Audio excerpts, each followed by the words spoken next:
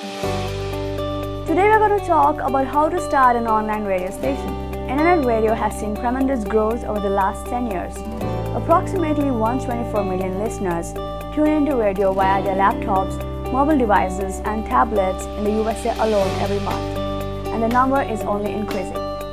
Welcome to another episode of Global Banking Finance Review. My name is Deepika Lobo.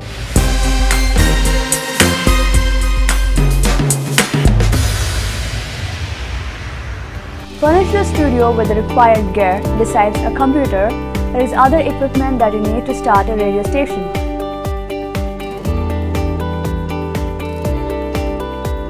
Microphone. Microphone is required to convert sound waves into electrical signal. It's needed to speak to listeners, hold interviews, and create radio imaging like the station ID. You can choose between a dynamic condenser or ribbon microphone. Audio software. An audio program is needed to tweak your audio files. Audacity is an open source, easy to use, and free audio program which is popular choice. Audio mixer. Audio mixer is used to combine and control more than one sound input.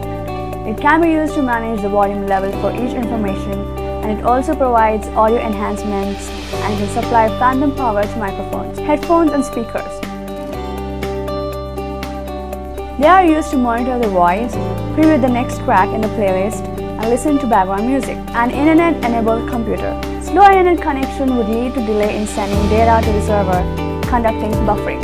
Select playout software. You can choose between DJ programs, media players, and radio automation programs.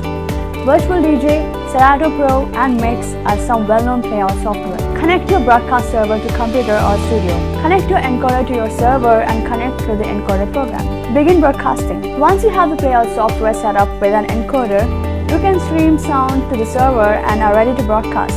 You can transmit all kinds of content like news alerts, music, talk show, interviews, pre-recorded shows, and podcasts on your station and regale your listeners.